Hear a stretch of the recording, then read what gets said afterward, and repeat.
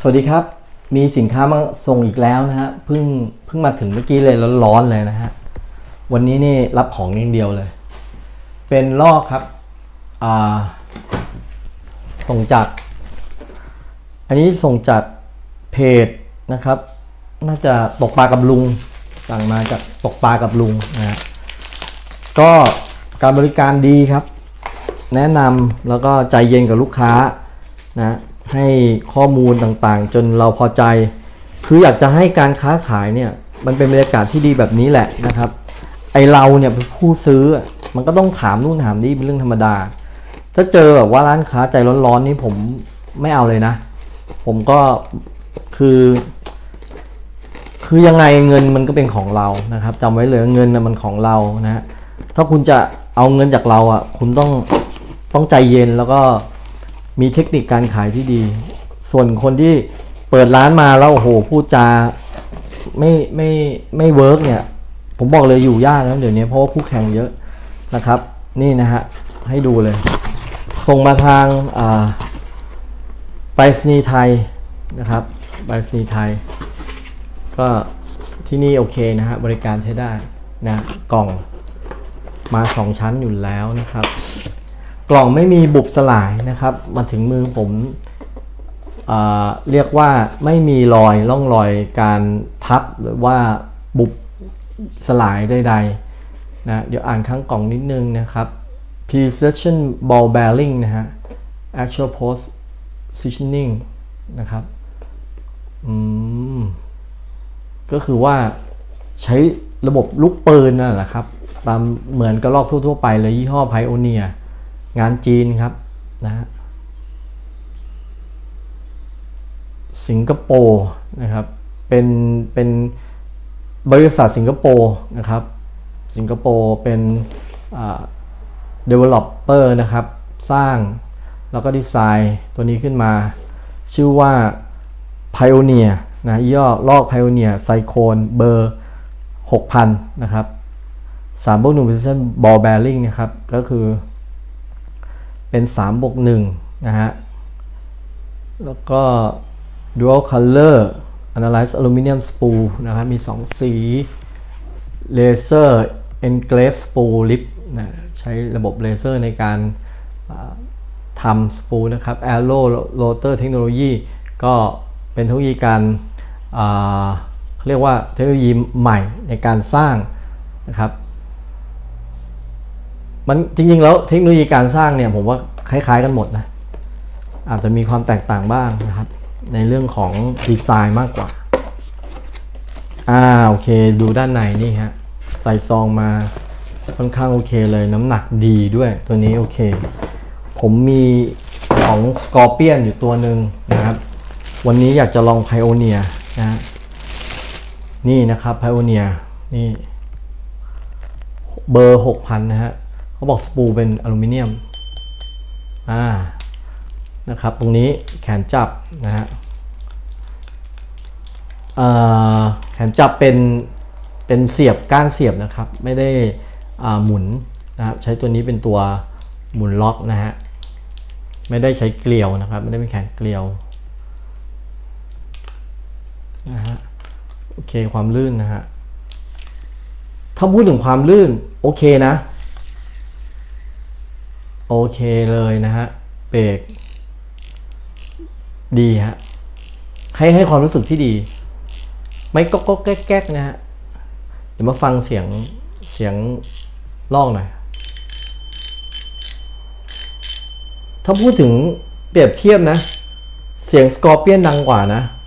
แต่ว่าอันนี้มันก็เบากว่านิดนึงนะฮะตรงนี้จะทำให้ตีได้ไกลนะครับ ช่วยทำให้ตีได้ ได้สะดวกมากขึ้นไกลขึ้น aerodynamic เสียงใช้ได้นะฮะตรงแขนตรงนี้ตรงเนี้ยตรงแขนตรงนี้ถ้าให้ผมความรู้สึกผมนะผมว่าสกอร์เปียนจะแน่นกว่านะครับตรงตัวล็อกตรงนี้ล็อกสายนี่สกอร์เปียนแน่นกว่านะครับวันนี้ต้องไปวัดกันที่การใช้งานนะ ต้องไปวัดกันที่การใช้งาน ความลื่น เรื่องอย่างว่าสกอร์เปียนจะ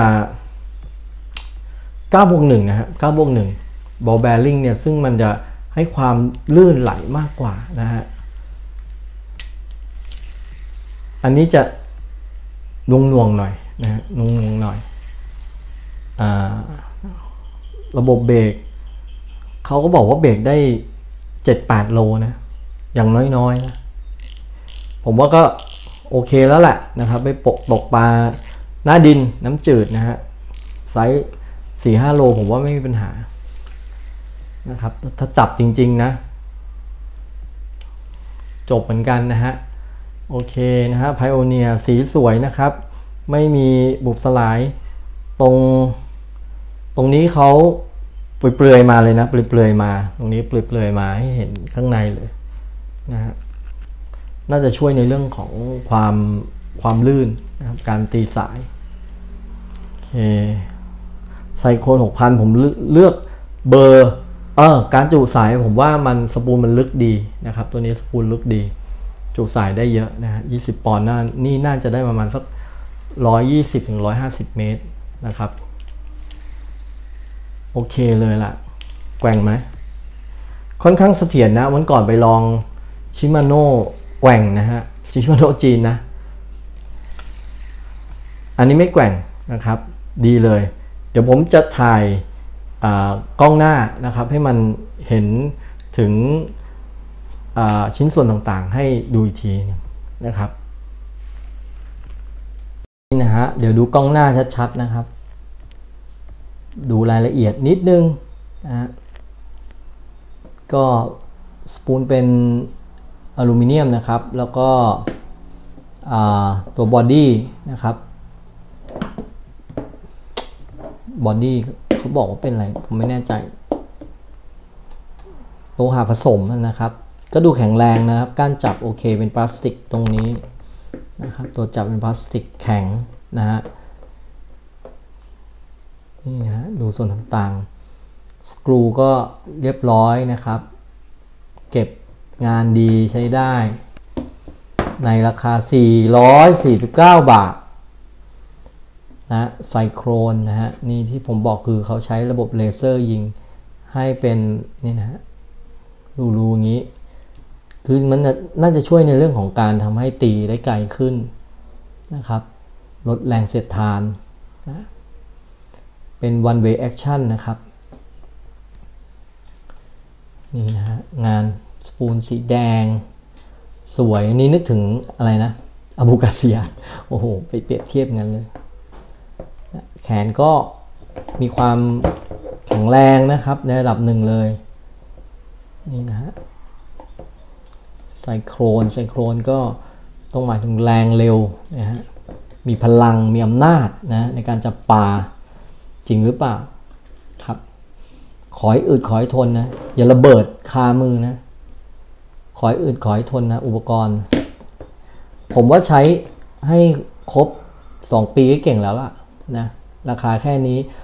บวกเบ็ดลอกแล้วไม่ถึงพันนี่ถือว่าถูกมาก เมื่อก่อนนี้ไม่มีทางซื้อได้แบบนี้นะฮะ ต้องมีสามสี่พันอย่างน้อยๆนะฮะเดี๋ยวนี้งานจีน